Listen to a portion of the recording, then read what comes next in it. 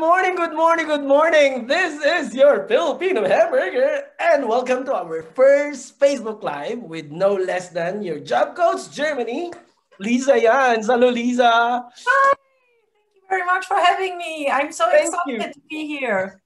thank you, thank you for accepting the invitation. I mean, our first session um, mm-hmm. was fun, and I think we were managed to um, inform and inspire our listeners or viewers, and so we are doing another round. But this time, we are switching the role. So I'll be interviewing your job coach, Germany. I prepared some questions. and for today's session, we will be talking about the labor market in Germany, job application as an expat or as an international um, individual who wants to uh, let's say, have a career in Germany or in general, okay? So why not start with um, a self-introduction? Lisa, please. Okay, well, well, again, uh, thank you very much for having me. And it was really a pleasure to interview you last time. So I wanted to say thank you for that again, because there were so many people that contacted me and said, oh, this is so interesting. And somehow they really liked the energy between the two of us. so that was really cool. And it just felt like talking to a friend, like we've been knowing each other for, for so many years. Exactly, so, yeah. Uh, yeah, it's, it's the same. It's the same. I was like, whoa, the energy and then the rapport. And I was like, okay, it's natural. yeah, It was yeah. not right, right. So, well, my name is Lisa, and I'm also known as Job Coach Germany. And I support international professionals with finding a job in Germany, but not just any job, but their dream job. So basically, I support them along the entire application process with which basically means finding the ideal job, preparing the job application doc documents, which includes the cover letter and the CV. And then I also do something that is very interesting to some people. It's called mock job interviews. So basically, I'm the HR lady and ask the questions. We have a real live interview and I give feedback right there and then on what they could improve for the actual interview that might happen a couple of days later and then and then also after that um, i try to support my clients with regards to what is interesting or important to look at in the work contract and what to basically figure out during the probationary period.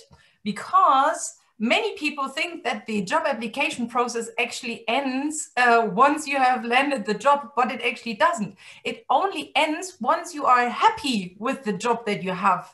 And as long as you're not happy with the job, just keep applying. That's what I to say. yeah, and oh. maybe just real quick, I'm I'm uh, based in the northern part of Germany, but not as far north as Juan. Um, I'm close to Magdeburg, and Magdeburg is between Berlin and Hanover, right in the middle. This is where I am. Yeah, but I, I support my clients from all over the world, and I do that online. So with Zoom meetings, for example. Wow, thank you. So basically, you are with them from the beginning till they feel that or till they reach the happiness or yes. say, you know, they are happy, comfortable, and contented with their job. Yes. You just don't let them, or you just don't release them after signing the contract. So you yes. stay until the probationary period ends. Yes, right. Mm-hmm. Okay. So that, that is what um, is my aim. That's my goal, and to to wow. support them for the entire process, basically. But normally, when they are when they already landed the job, um, it's kind of that the candidate always thinks, "Okay, I'm done. Finally, that's great."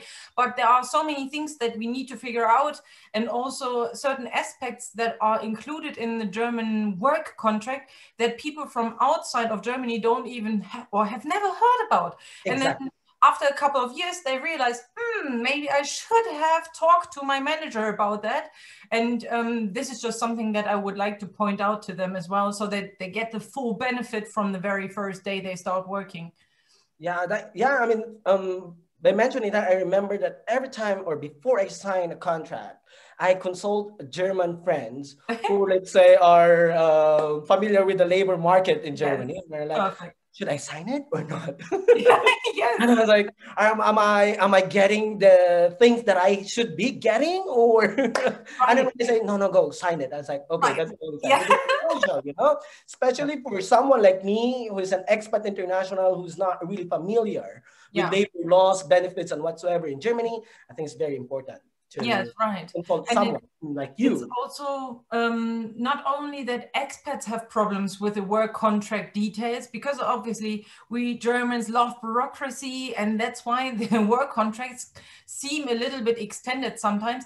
And I've seen Germans also signing work contracts that are way out of my mind where I thought, why did you ever sign that contract? It's especially when we're looking at um, the the paragraph that states when you can leave the company. Because just in case you find a different job and then for example in that in that particular field or in that paragraph it states well you have to wait seven months. Well it happens and people sign that but it's Yeah. just like this is like you're a slave of that company and you can never get out because if you tell a new company okay we will i would like to work with you but i can only start in seven months hmm, that's a little problem. And that's why it's, it's not an issue just for expats, but obviously that's my that's that's my heart business as i would say because i would like to support expats finding a job in in germany and i would like to help them see all of the little details that there are Of course, that's that's very important. You mentioned also about the probationary period. Like you don't just let your client, um, you don't let go them during the probationary period. For me, one of the crucial parts of starting a job is the probationary period because yes it's. I mean, that's when you realize, ah, okay, is this the job for me? Am I the right person for me? I mean, that's also the the thinking of the Arbeitgeber or the employer. Is Juan the right person? So I was like. You know, so it's either you you will give your best or like, oh no, I'll I'll, I'll leave. So Yes. uh, thank you for mentioning about the probationary period, no? Yeah And now, based on your experience and um, with your client, and I think last time you mentioned you also worked as an HR. Now my question is, what makes an application stand out? Yeah. Well, um, first of all, there are obviously always trends going on, and people would like to stand out and be like the first one to be chosen. But actually, you have to see it from the HR person view. And then what happens normally is that there is a deadline until when you can apply. And what happens then? So, normally, in a bigger company at least, mm. The HR people won't look at any of the applications before the deadline has ended. So what they do, they pile up all of the applications, and then once the deadline has ended, maybe on a Friday, and then on a Monday, they take this huge pile and think, okay, lo- now I can look at all of them. So first of all, it doesn't really make sense, and I would always try to convince my clients not to call the company before the deadline ends. but after the deadline has ended, you normally have about two weeks. And if you haven't heard anything, then then you can contact them. But now, if you are within that pile, obviously there are a lot of um, application documents that I have seen from my clients where there is still a lot of text. So, and here, let me tell you, less is more. so basically, sometimes uh, HR people only need a couple of seconds to take a look at it and and think, oh, that's just way too much text. I'm not reading that, and then it it goes into the trash can. And then the next one right. So um, basically the, the the the basis of the application documents is the one page cover letter and a maximum of two pages for your for your um, cv and with that being said it's always interesting and obviously um, what makes this application stand out is if it's really fitted to that particular company if it's really fitted to the particular position. So and with that you, you basically use the um, job ad and then you take a look at the requirements and you take a look at the must-haves or the nice to haves and then you try to use the same wording, the same phrases that they are using in the ad for your covering letter, for example. And with that, first of all, if there is a huge company let's say like Airbus or any other bigger company that are using software to scan through all of your application documents. That's how they scan through these through these documents basically. Do does the uh, candidate use the words and phrases that are in the job ad? So the first hurdle is taken basically because you have matched the software that they're using. Ah. And then also a lot of people from uh, from abroad are very hesitant to use pictures because abroad it's uh, seen and classed as discrimination if you include a picture on your cv however in germany a lot of conservative companies still expect a picture. Nowadays with all of the um, newer technology and the platform that the company actually organizes for you to upload your application documents, um, it's easier because you can find out, is there a particular area where they say, please upload picture because then you know, okay, they really want to have a picture. If they don't have this field or this area, you can leave it out. The trend is going towards less pictures and obviously less discrimination. However, this is a very slow process because in Germany, it was very common to send pictures with with modern startups and younger companies, it's it's typical that you don't send any pictures anymore. But if you're going for those bigger companies, the the ones that have been established for several years in Germany, still go with a picture because that makes your your application stand out for sure. And then um, also something that I normally see from my clients is that expats don't even know what the German standard looks like. So, and um, so let me just uh, take it, or let us just take a look at the CV, for example. So just take one category of your work experience. So you write the company and the area or the city where you worked, mm -hmm. and of course your position. And then, for example, if we are looking at an English at an English CV, there will be bullet points, bullet points, bullet points. So maybe up to five or 10 bullet points. Sometimes I even see text, like a whole paragraph of right. what people have done.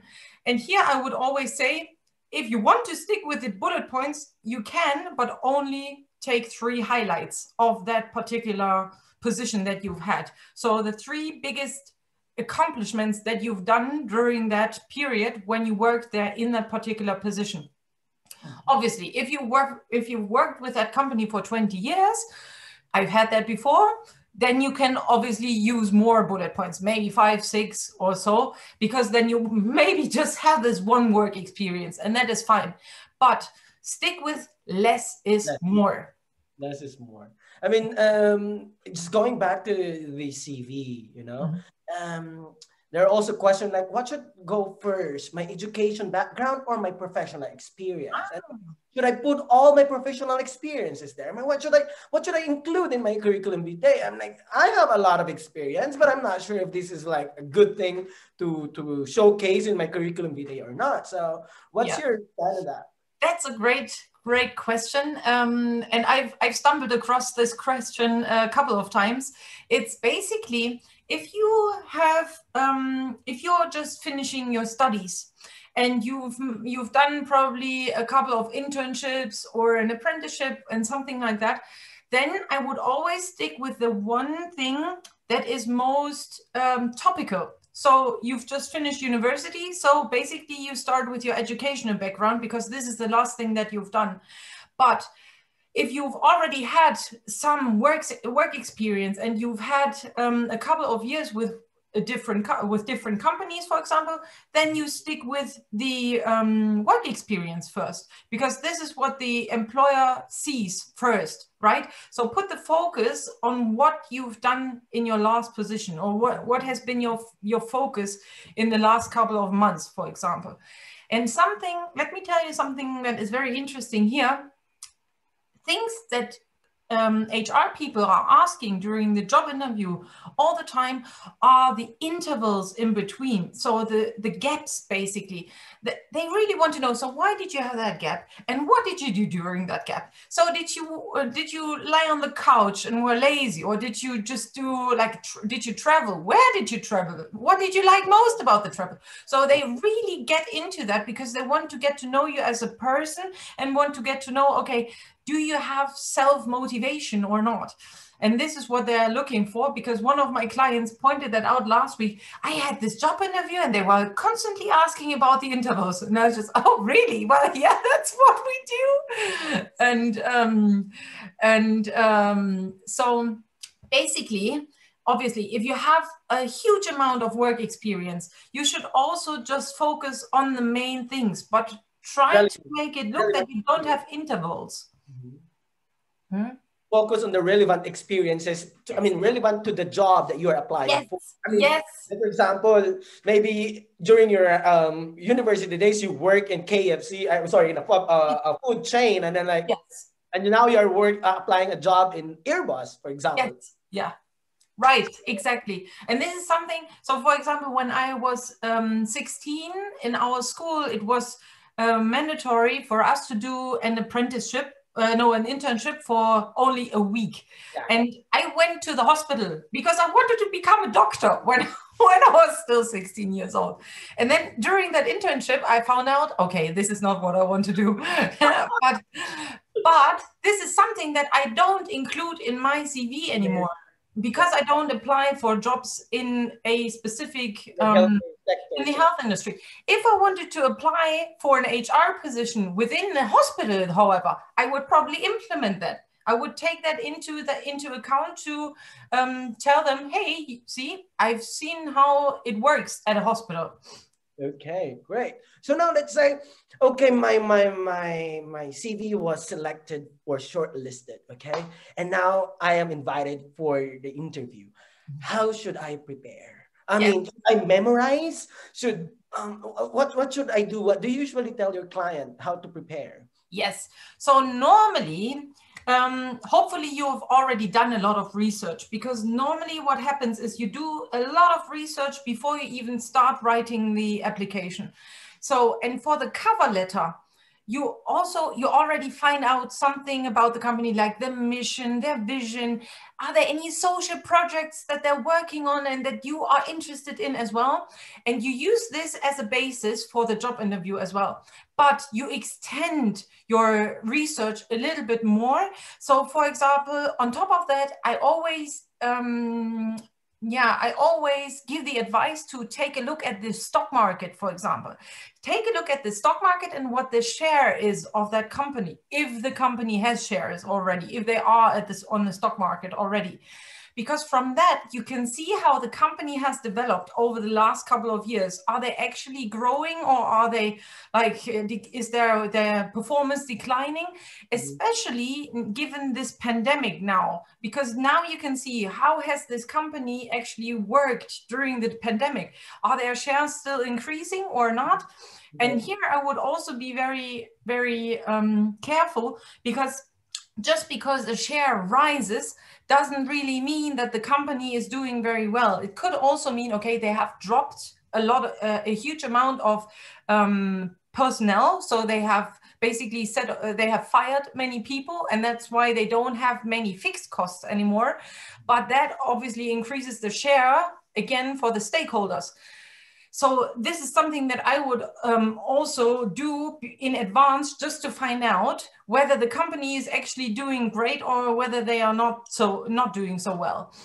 And something that is very important and that I always tell all of my clients because they kind of sometimes get anxiety just before the job interview. They are excited, they are nervous, they really want to have this job. So uh, it's a lot about motivation. So, and that's what I always tell my clients. First of all, you are there and try to see it from a different perspective. Try to see it not like I really want this job. I need this job. I uh, there is no other option for me out there. Just go into the job interview and find out. Okay, how can I find out whether this job, whether this company is actually a good fit for me? For me personally, do I really like to work with them? Because from the way how the recruiters are asking you, so during the job interview, there might be an HR person, a person from your department where you will be working in, and maybe a manager of both of these or somebody from the work council that could be as well. And from the way how they are phrasing their sentences and the way how they are asking and interacting with you you can already feel whether they are polite whether they have an engaging personality whether you are whether this the the people you are actually working with will be people that are approachable or whether they are actually discriminative with all of the things that they are doing and saying and this has happened to me before when i was in an interview because this person was really um, drilling me and was trying to get me to the point that I cry. And I didn't cry during the interview, but afterwards I cried like a little baby. And um, and it's just for them to see whether you can stand all of their questions or whether you can answer all of their questions.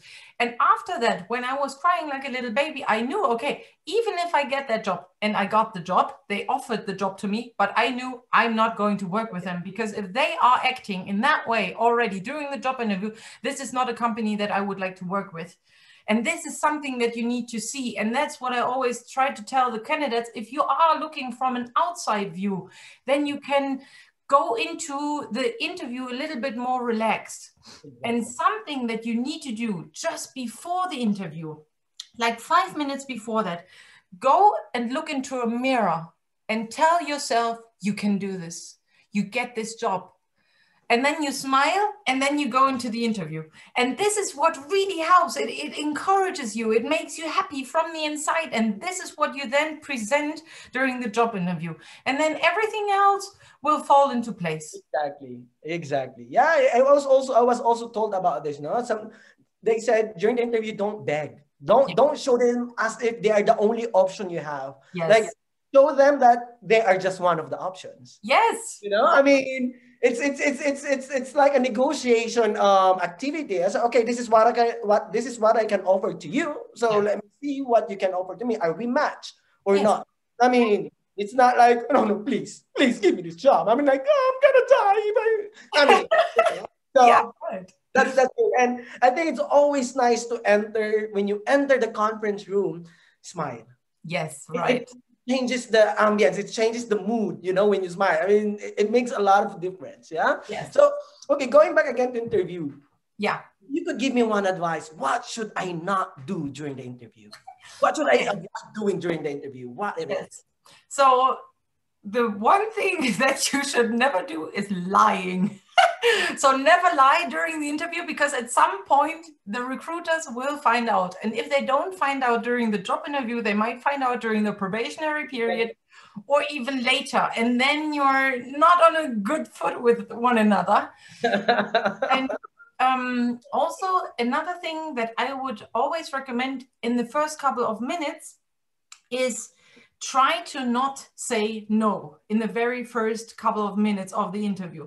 So it's basically during the um, small talk or when they're offering you, for example, they're offering you a coffee, but this is actually something that you should never, never take. You should never take a coffee during a job interview because you are already nervous and the caffeine will make you even more nervous.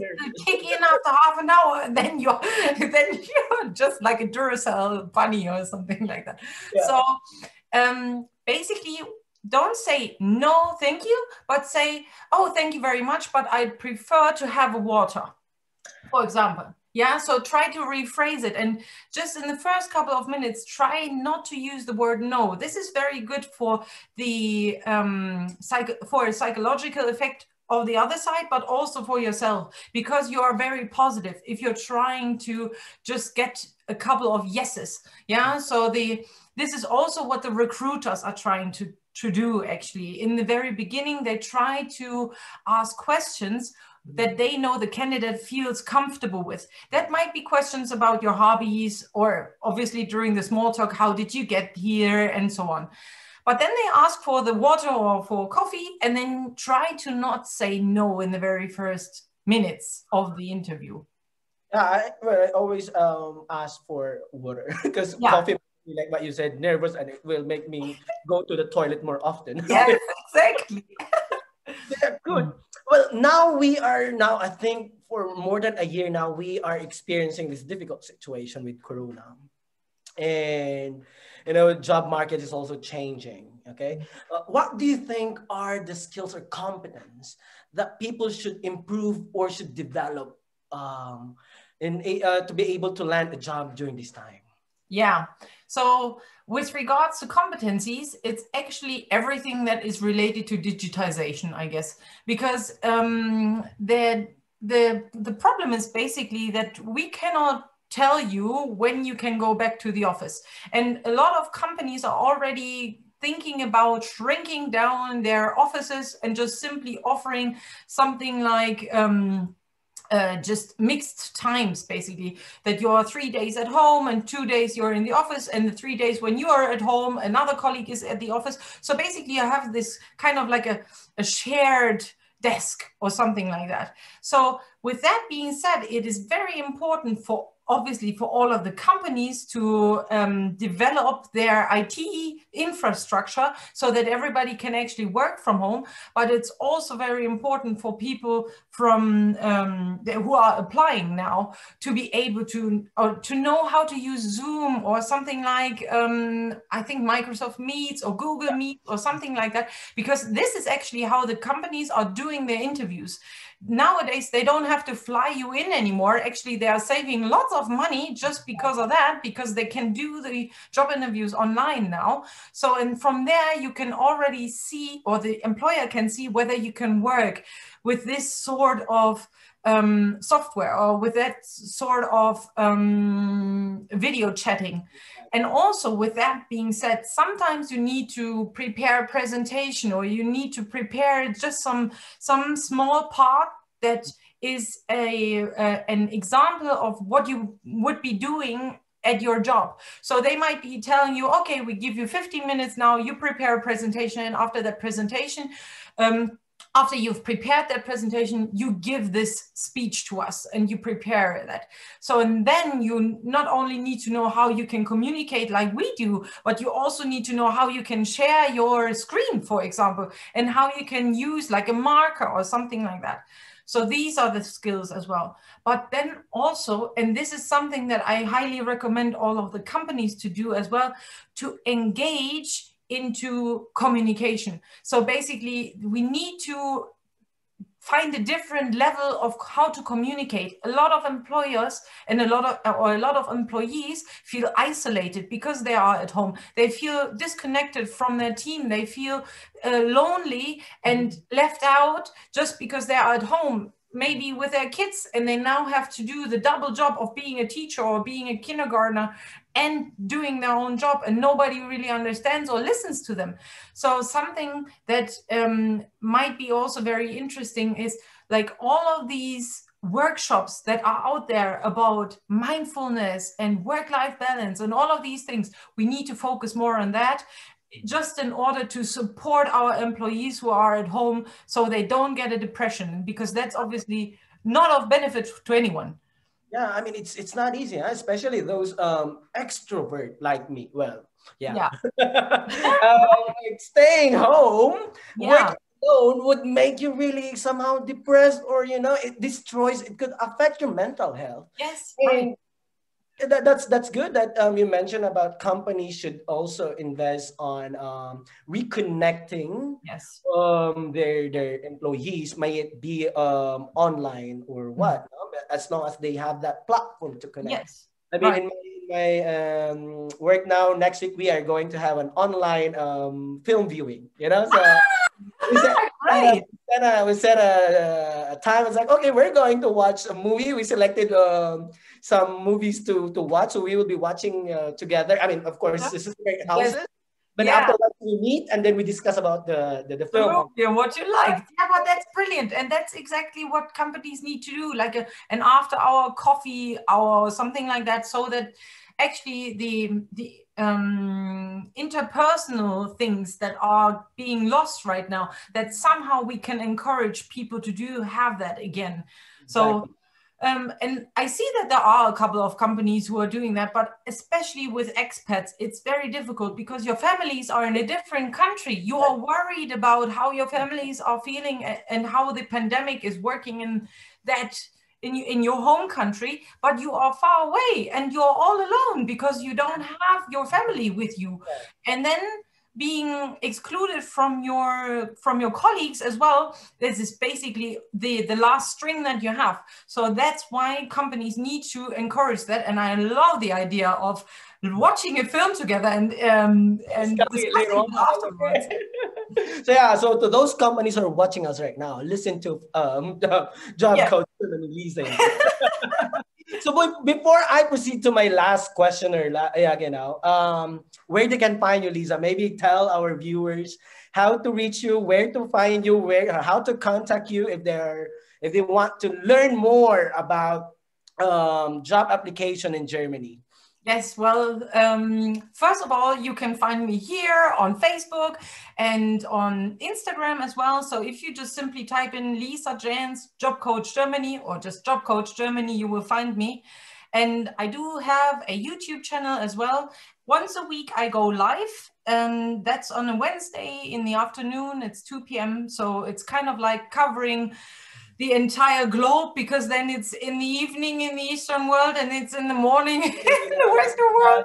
And then afternoon in the in the i mean in europe. Yes right. And um, therefore so i go live once a week and then people can just ask questions about the job market and um, simply you can find me on my on my uh, website as well lisajanz.com but if you have any interest you just simply find me on Facebook or Instagram, Job Coach Germany, and then you can send me a direct message there. That's good. That's good. Okay, great. Um, yeah, unfortunately, we are um, about to end this conversation, but let's why not end it with a general message or advice to those who are currently looking for a job right now or are almost losing hope to find a job right now, especially during this difficult um, time?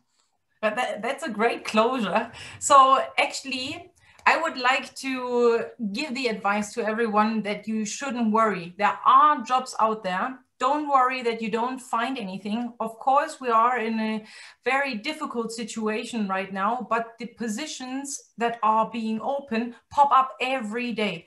So let's just, um, for example, also think about the way of how you can maybe manage to find a job in Germany. There are several platforms where you can find jobs. There are companies, the company websites where you can find the jobs and simply make up your mind what you want to do. And then from there, you just make the first step and apply. And then you will find a job in Germany. Yeah, thank you. Yeah, I think I, I agree with you, you know. Um, it always starts knowing what you want. Yes. If you know what you want, it will drive you to the destination where you want to be yes. where where you you where you want to be in you know yes. and, and then it will just go without mm-hmm.